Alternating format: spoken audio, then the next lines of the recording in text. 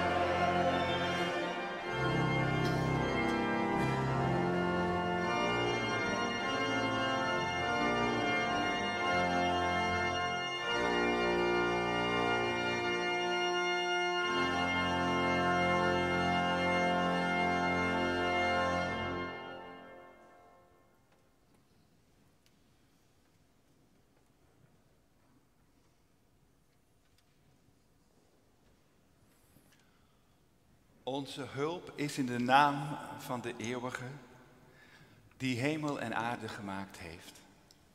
Hij is de bron van vreugde. Hij maakt ons blij. Hij is ons licht en ons leven. Laten wij bidden. Op de dag van het licht, in het huis van het licht, hier zijn wij, God, zie ons aan.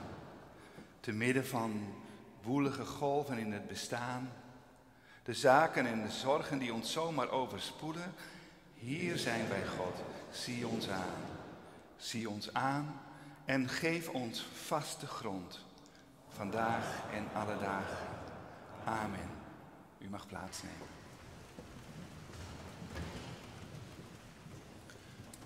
We zijn met elkaar verbonden, zichtbaar en onzichtbaar, als mensen hier op aarde en als mensen bij God. Laten wij dat uitdrukken in het aansteken van de kaars van verbondenheid.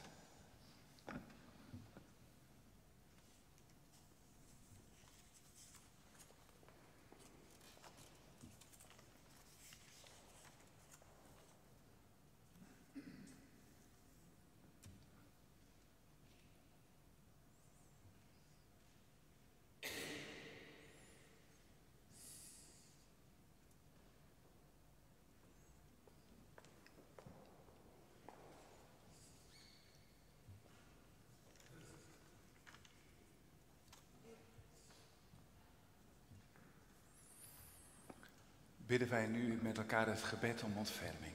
Laten wij bidden. Levende God, ontferm u over de nood. Over de nood in de wereld. Over de nood van de aarde. Over de nood van de dieren. Over de nood van de bomen. Over de nood van de bijen. Over de nood van de mensen over de nood van de kleinen, over de nood onder ons. Wij roepen, Heer, ontferm u daarover. Amen.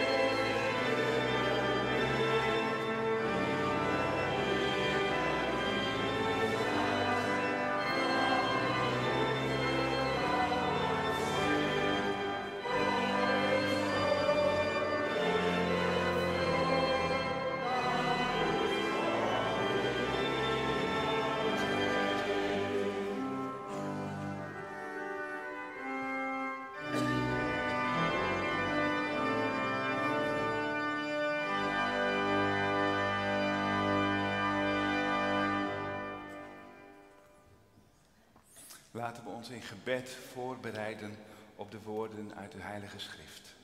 Wij bidden. Heer onze God, wij bidden en danken dat Gij ons ook vanmorgen hebt samengebracht in uw tegenwoordigheid, om ons uw liefde te openbaren en te onderwijzen over hoe u het leven wilt. Breng alle andere stemmen daarom nu in ons tot zwijgen, zodat wij alleen uw woord horen. Open door uw Heilige Geest ons verstand, ons hart, voor uw waarheid, die aan ons is geopenbaard in Jezus Christus, onze Heer, nu en altijd. Amen.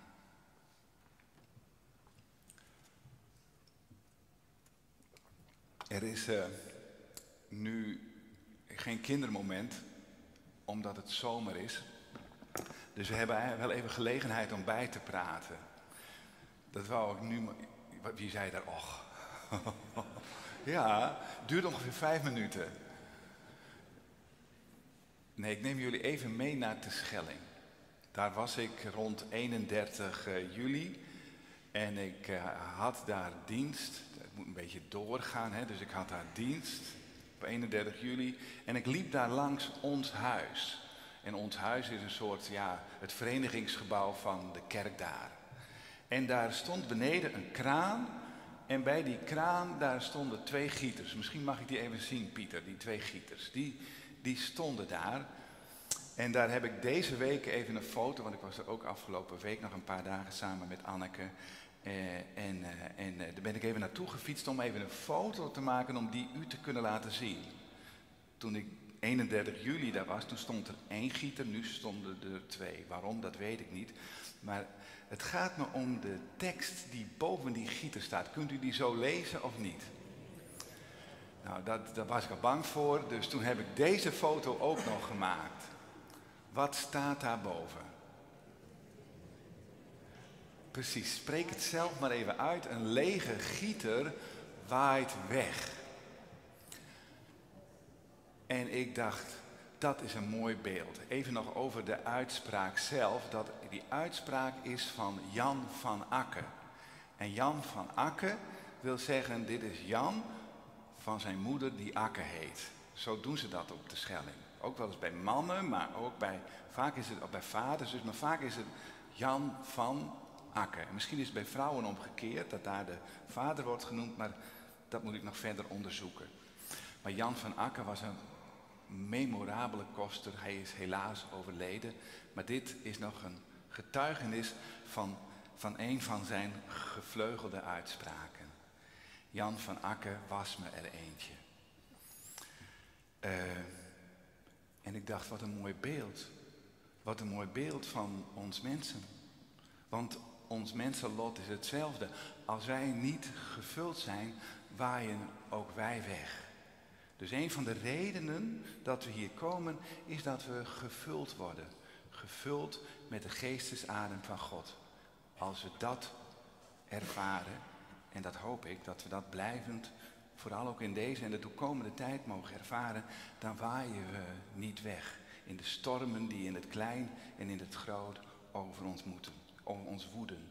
Dus dat we vaste grond mogen vinden in God en in hoe wij vanuit God leven en naar het leven kijken.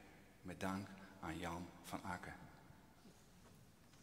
We lezen dadelijk uit iemand die in de wereld heeft geleefd en ook heeft geschouwd. En dat is uh, prediker. En onze geleerde uh, lector, die had al even een voorstudie gedaan en die zei, het is een wijze, die wijze spreuken heeft uh, verzameld. Maar de eigenwijze dominee zei ja, maar het betekent ook nog wat anders. En dat ga ik zo vertellen. Prediker is namelijk ook, het betekent eigenlijk, hè, wat betekent ook alweer? Wat is de Hebreeuwse naam ook alweer voor prediker? Kohelet. Prachtig uitgesproken, kohelet. En kohelet betekent verzameling. Zoals wij hier verzameld zijn. Bij elkaar brengen, bij elkaar komen. En dan kijken, wat is dit eigenlijk allemaal? En dat heeft Kohelet, prediker, de verzamelaar, de inzamelaar, heeft dat gedaan. En die heeft daarover gesproken. En zijn belangrijkste conclusie is het is eigenlijk allemaal lucht en leegte. Het waait zomaar weg wat de mens, wat de mens meent te hebben vergaard en gepresteerd. Nou, vanuit dat gegeven gaan we vanmorgen naar het woord van God luisteren. En we lezen, we lezen nu eerst Prediker 2, vers 1 tot en met 11.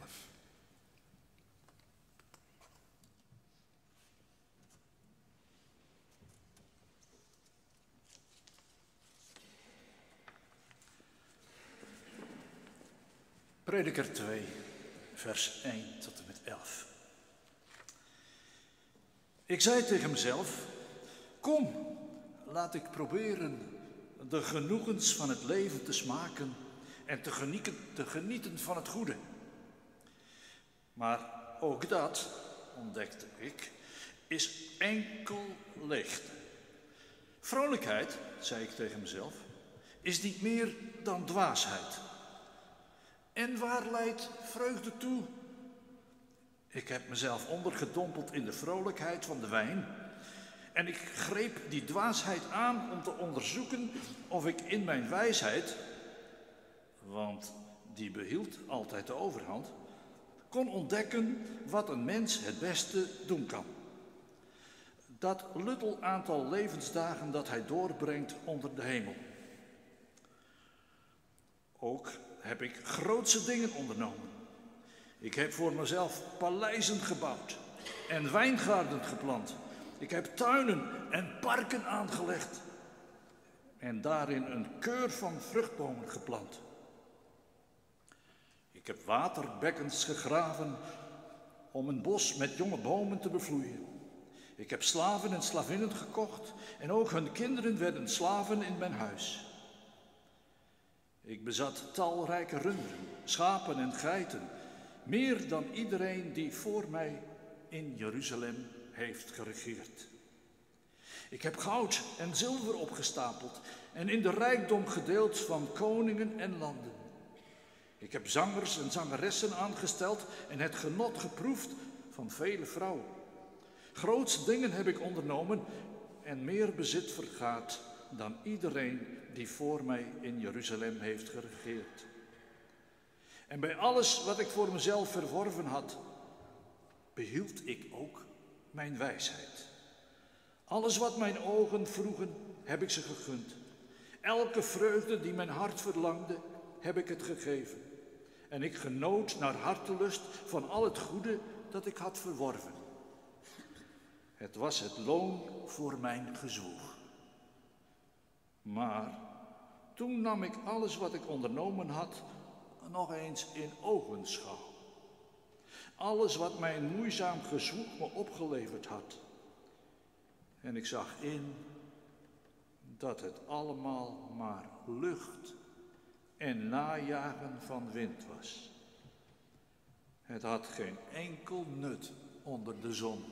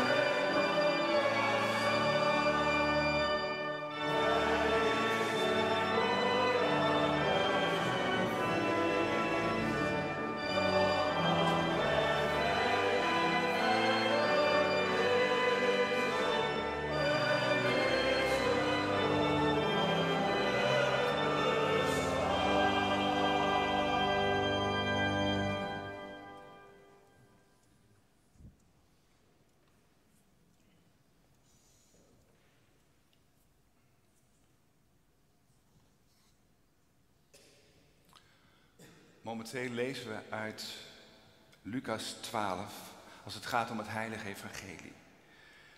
Ik neem u mee naar vers 13.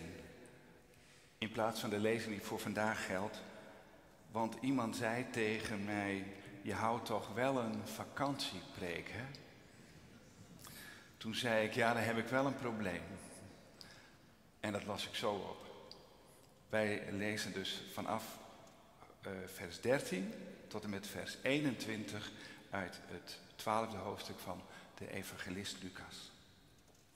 Iemand uit de menigte, dus zomaar iemand, zei tegen hem, Jezus, Jezus, Meester, zeg tegen mijn broer dat hij de erfenis met mij moet delen. Maar Jezus zei, wie heeft mij als rechter of bemiddelaar over jou aangesteld? Hij zei tegen hen, pas op, hoed je voor iedere vorm van hebzucht. Want iemands leven hangt niet af van zijn bezittingen, zelfs niet wanneer hij die in overvloed heeft. En hij vertelde hun de volgende gelijkenis. Het landgoed van een rijke man heeft veel opgebracht. En daarom vroeg hij zich af, wat moet ik doen? Ik heb geen ruimte om al mijn voorraden op te slaan. Toen zei hij bij zichzelf, wat ik zal doen is dit. Ik breek mijn schuren af en bouw grotere, waar ik al mijn graan en goederen kan opslaan. Dan zal ik tegen mezelf zeggen, je hebt veel goederen in voorraad, genoeg voor vele jaren. Neem rust, eet, drink en vermaak je. Maar God zei tegen hem, dwaas. Nog deze nacht zal je leven van je worden teruggevorderd. Voor wie zijn dan de schatten die je hebt opgeslagen? Zo gaat het met iemand die schatten verzamelt voor zichzelf, maar niet rijk is in God. Tot zover de woorden uit het heilig boek van God. Zalig zijn zij die deze woorden horen, ze in hun hart bewaren en er bovenal uit leven. Hallelujah.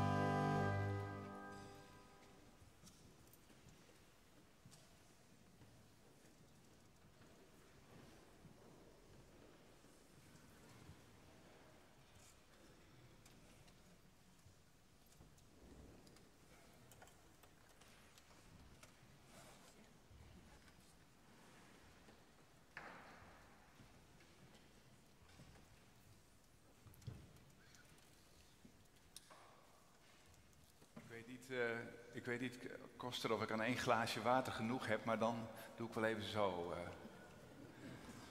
Want er was een gemeentelid die zei, het gemeentelid dat zei, je laat het toga toch wel uit, hè? Ze heeft een punt. Lieve mensen, gemeente van Christus, wat is het mooi weer in jullie midden te zijn na al die weken in juli en al die tijd waarin er heel veel is gebeurd en nog speelt in het groot en in het klein.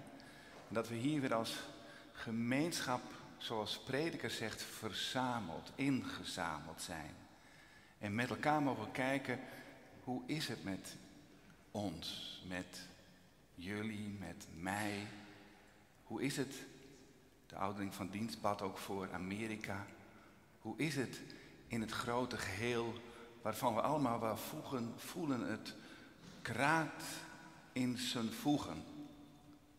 We leven dus in een onzekere tijd, waarin we niet weten wat ons allemaal nog te wachten staat. En de grote vraag vind ik voor nu en in de komende tijd, hoe wapenen we ons daarin? Zijn we sterk? Blijven we nuchter? Of worden we meegesleept en bang en twijfelachtig en ja, in wanhoop verkerend? Hoe wapenen we ons? Wat mij betreft is het beeld van de gieter voldoende om vanmorgen vast te houden voorafgaand aan de preek en als strekking over de preek. Dat we vol zijn van de kracht van God. Want daar gaat het eigenlijk om. Laat God je leiden in je leven. Van binnen en van buiten, in het klein en in het groot. Waar gaat het vanmorgen in die beide lezingen over? Ik neem u mee naar de Schelling. Ik fietste op een middag, was het geloof ik. Ik ben nooit zo vroeg. Dus laten we zeggen begin van de middag, eind van de ochtend. Fietste ik door een van de mooiste polders, voor zover ik weet, die Nederland kent. Die polder heeft iets oers. En ik fiets daar over dat schelpenpad en je hoort dat knisperen van die band. En ik kijk vooruit. En ineens valt mijn oog op een vlaggenmast. En aan die mast hangt een vlag en die wappert daar in die wijdse groene zee. En ineens zie ik, oh ja, dat is die Franse vlag.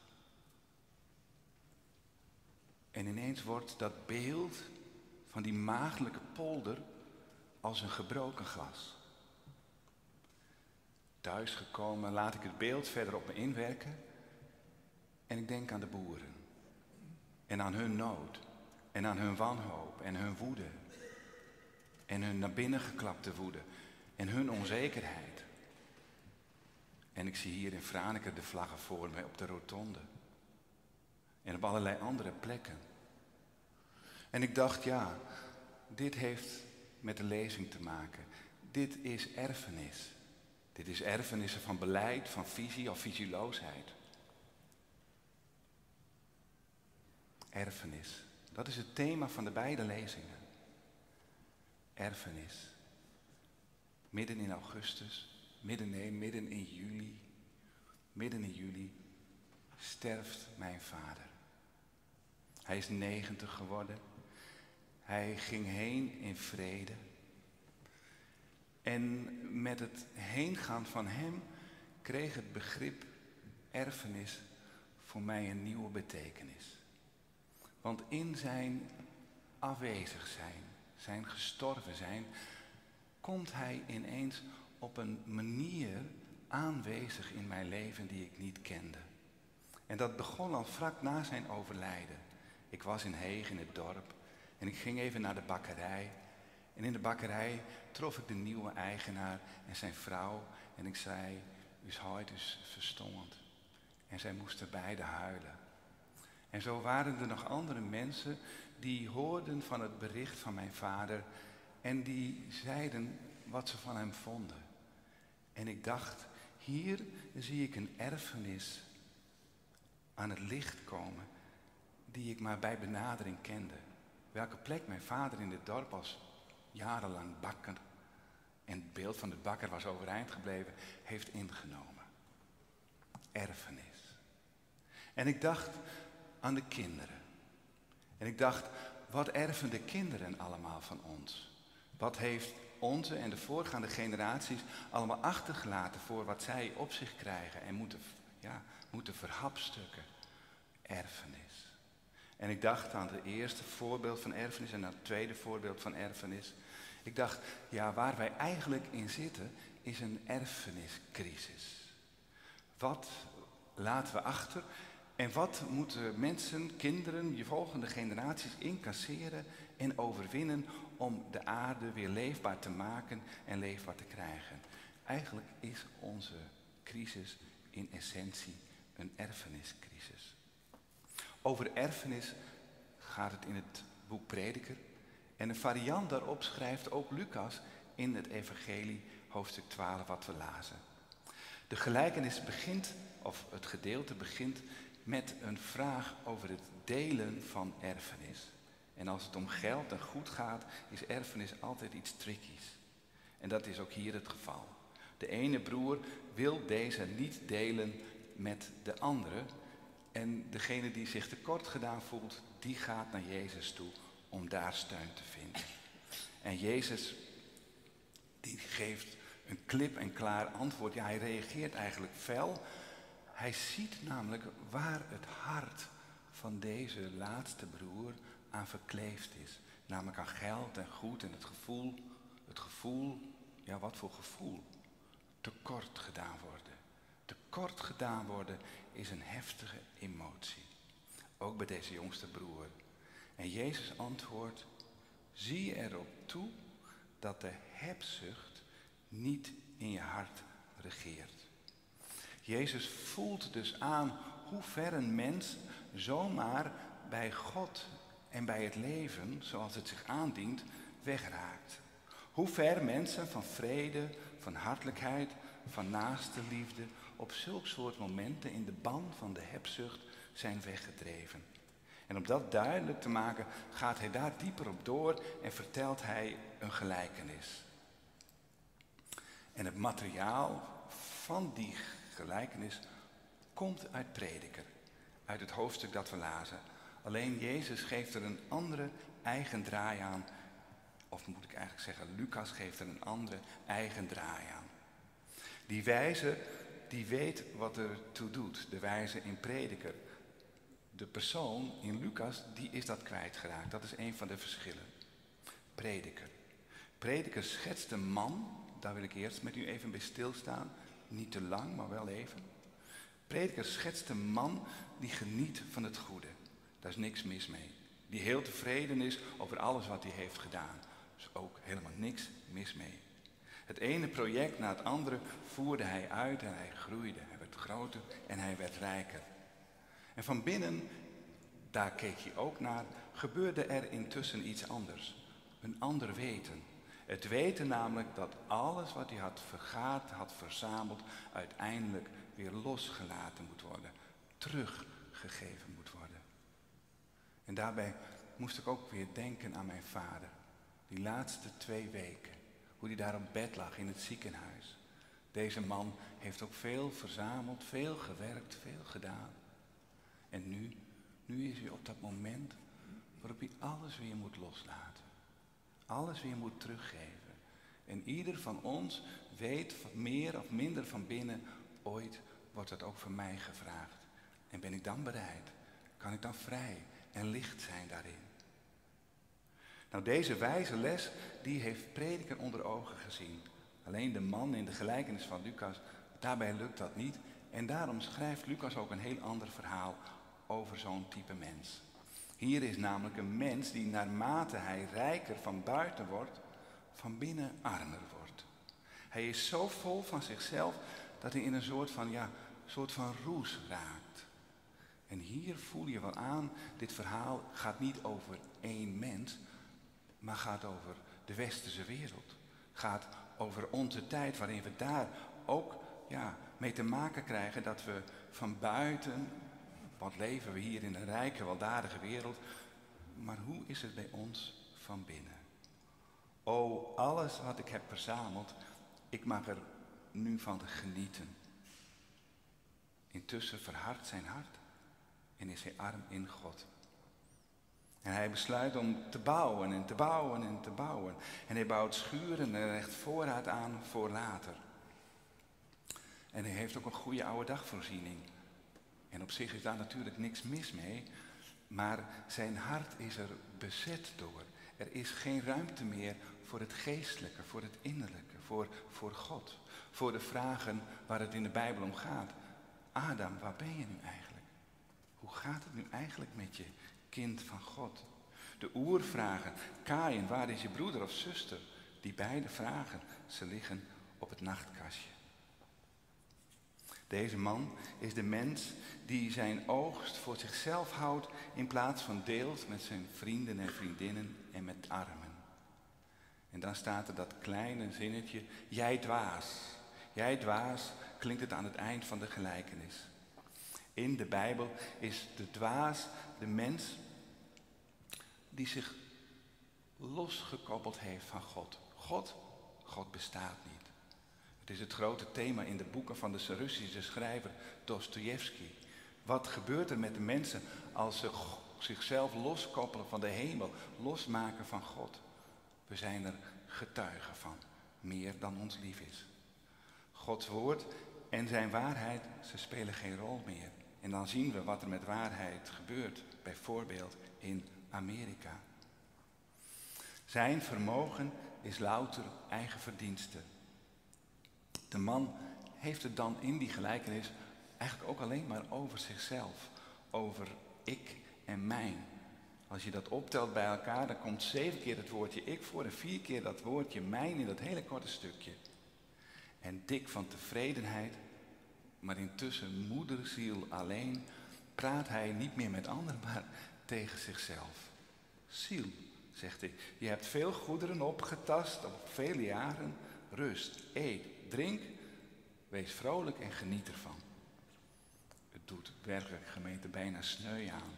Zoals hij over zijn bezit spreekt en zoals hij vervolgens ook nog over zijn ziel, zijn, zijn levenskracht spreekt.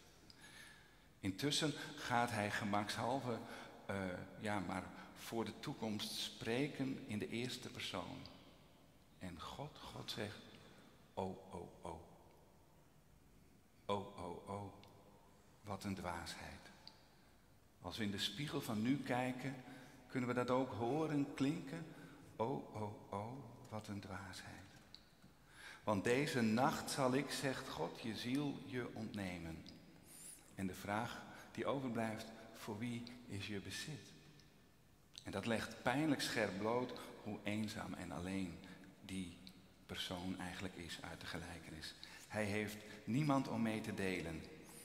Hij is de zelfgenoegzame mens die de kant van genade en van het geschonken krijgen van het leven helemaal niet meer ziet en inziet. En juist daar, door dat gemis van dat het leven een geschenk is, dat vreugde ons deel is en samen delen van het leven ons de bedoeling is, hij is het kwijt. Hij weet niet meer dat koren een gave is van de aarde en genade Gods ons om niet gegeven wordt. De toekomst, die heb je als mens, en dat ontdekken wij ook meer en meer, niet zelf in de hand. Maar in wezen ligt dat in Gods hand besloten. Gelukkig maar, denk ik dan. Maar oh, wat staat ons te wachten? Klopt dat weten in onze harten? Of zijn onze harten ook vol met van alles en nog wat? Die spiegel houdt deze gelijkenis ons voor. Ben je rijk in God, kind van mij? Deel je het leven? Ben je vrolijk en verdrietig met anderen? Of ben je alleen opgesloten in je bange ik? Hoe het ook kan, hoe we ook kunnen leven, dat vertelt de volgende Joodse legende.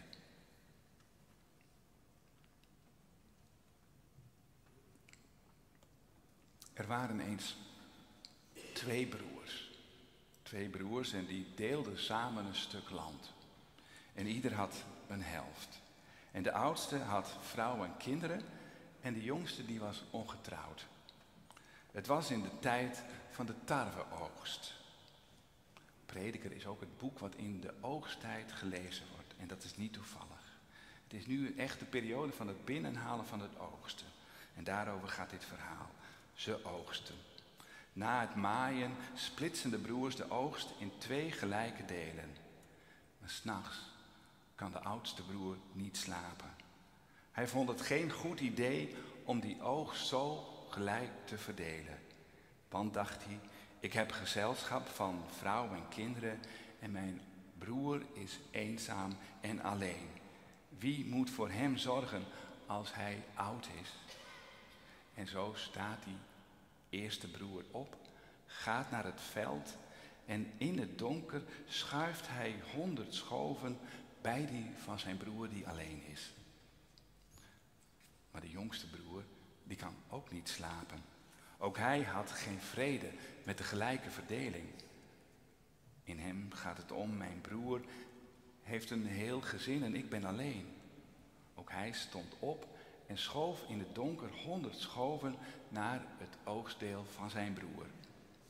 De volgende morgen verbaasden beide broers zich er hooglijk over dat ze ieder nog hetzelfde aantal schoven hadden. Beiden stonden de volgende nacht opnieuw op en herhaalden de handeling van de nacht ervoor. En beiden vroegen zich de volgende morgen met nog grotere verbazing af wat hier in hemelsnaam gaande was.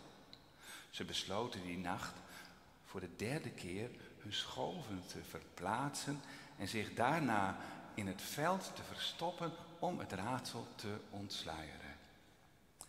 En het was in die nacht dat ze elkaar tegenkwamen op het veld. Elk met armen vol schoven op weg naar de schoven van de ander. En de broers, de broers, ze omhelsden elkaar en ze weenden. En boven in de hemel glimlachte God en zei tegen de engelen, de akker van die twee broers, dat lijkt me nou een mooie plek om de tempel te bouwen.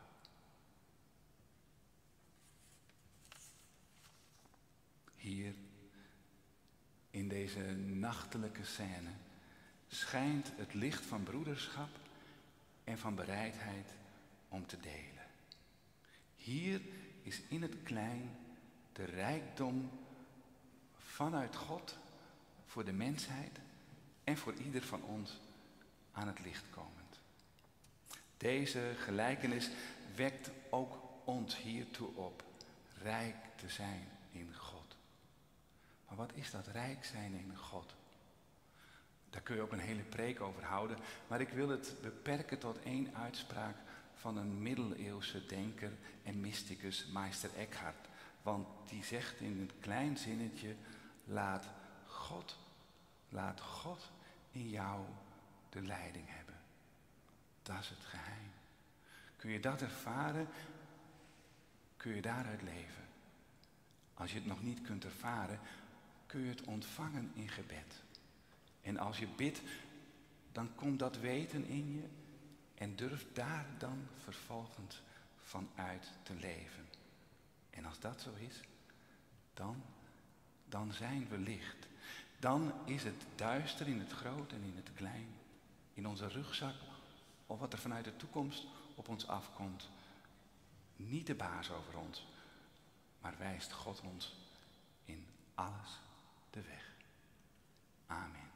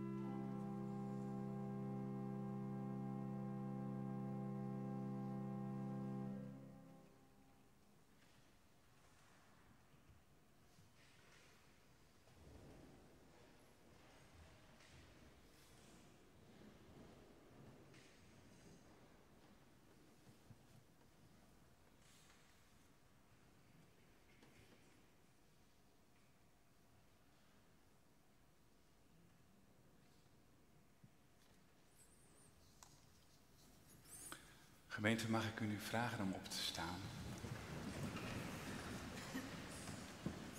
En met mij naar het volgende bericht te luisteren. Op 12 augustus jongsleden overleed Francine Westra de Ruiter in Keningstaten. Zij was geboren op 1 oktober 1941. Komende donderdag 18 augustus nemen we afscheid van, eh, van haar hier in de Martinikerk. Om 1 uur is er tot half 1, tot half 2 gelegenheid om te condoleren en daarna is de dienst van afscheid. Uit eerbied voor haar leven en voor haar sterven zijn we nu met elkaar een ogenblik stil.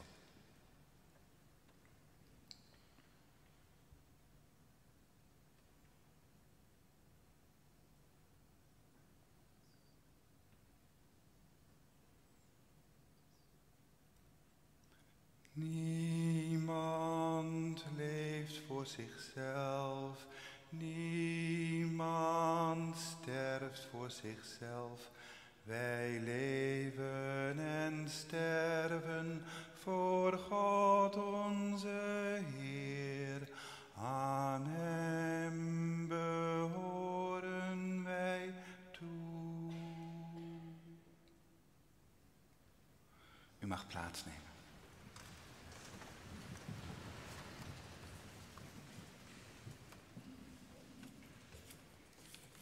Laten wij samen danken en bidden. God van ons leven, bron van wijsheid, bron van kracht uit liefde. Wij danken u voor het geschenk van ons leven, voor het wonder daarvan, voor het wonder ook dat heelal heet. Dank voor de plek waar we leven, hier in Franeker en omstreken. Dank voor de kerk waar we samenkomen, waar we steeds onszelf weer mogen vinden door bij elkaar te zijn en de lof te zingen op U, onze Heer, en Christus, uw Zoon.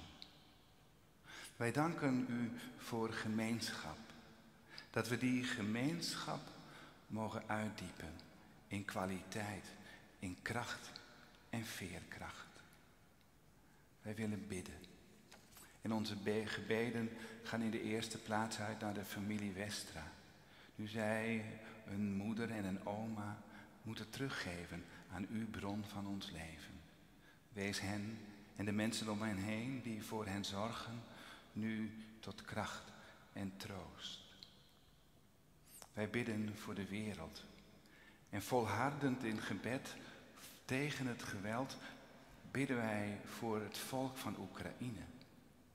En ook voor de mensen in Rusland die wanhopig zijn na al die doden, na al die onrust en hectiek.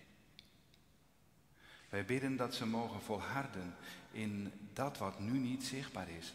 Iets wat we vrede noemen, ontmoeting en verbondenheid in dat land vol tarwe en oogst, dat er ruimte komt voor dat kleine visioen van die twee broers.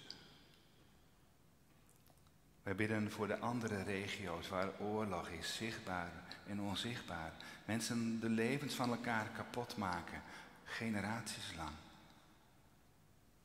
Wij bidden voor het bewustzijn van het geheim van erfenis van leven dat gekregen wordt en doorgegeven wordt.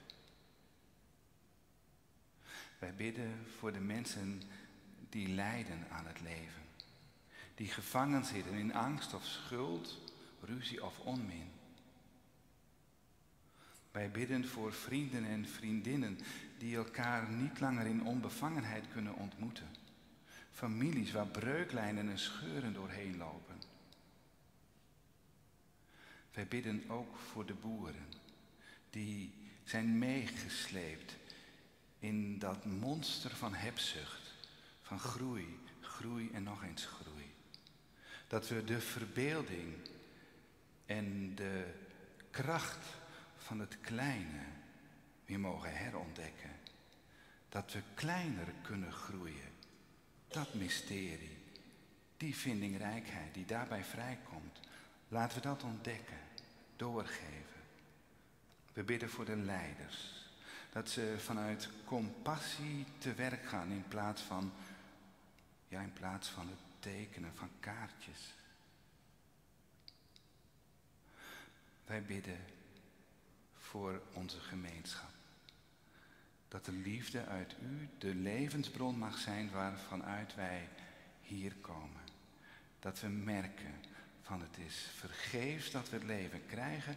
Het is om niet dat we mogen geven vanuit u. Vul ons daarmee. Maak ons daarin sterk. Wij bidden voor onszelf. En dat doen we in de stille ruimte in ons hart. En daarin brengen we de dingen die ons aan ons kleven, die ons zwaar vallen. En er is ook ruimte voor danken in dit stille gebed.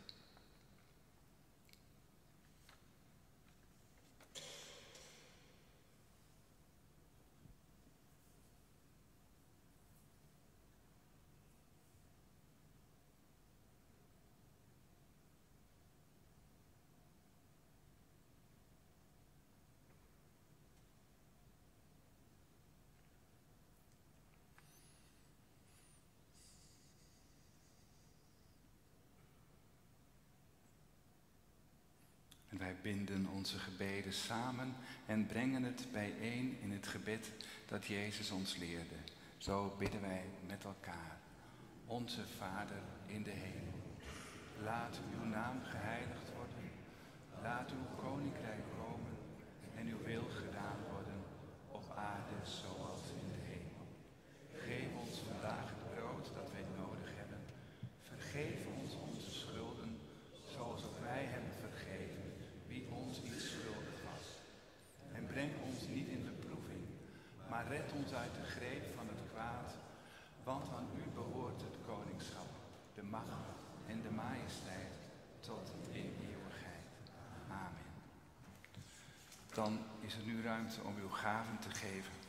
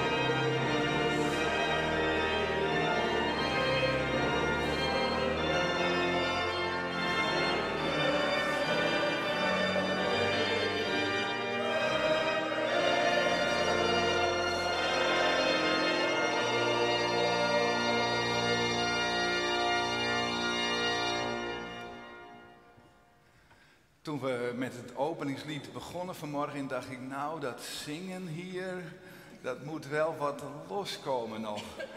Maar dit was echt eh, vol crescendo. En ik kom ook wel eens in andere kerken. En dan zeg ik wel eens, nou, in Franeker. Maar ik ben eh, helemaal onder de indruk van hoe we met elkaar dit prachtige loflied hebben gezongen. En wij gaan van hier en in alles wat er speelt, mogen we de vrede ontvangen van God die alle verstand te boven gaat en zijn zegen die ons draagt. Ga daaromheen vanuit die vrede en weet u gezegend. Want de Heer zegene u en de Heer behoede u. De Heer doet zijn aanschijn over u lichten en zij u genadig. De Heer zij bezorgd om en geven u zijn hemelse vrede.